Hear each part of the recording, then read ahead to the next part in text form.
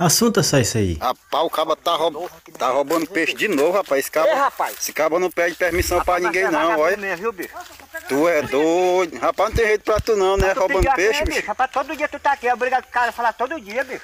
Todo dia. Todo dia. Não, eu pedi, eu, eu, eu, eu, eu, eu pedi pro Samuel. Rapaz, olha, um camarada desse não tem nem vergonha na cara. Isso merece uma corça. Moço, mas como é que pode? Esse vídeo, você acredita que é encenado?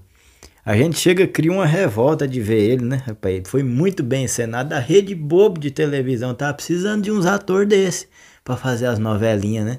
Moço, como é que pode? Eu já tive açude, rapaz. E a gente não dá conta de ficar o tempo todo dentro de casa pra cuidar daquilo. Quando você sai, rapaz, nego descobre, aí pesca tudo, acaba com tudo, né? Tem disso demais. O bom desse vídeo é que pelo menos faz a gente conversar, né, rapaz? Você vê, a criação de peixe é um, um, meio de produção tão rentável, rapaz. É mais fácil de lidar, né?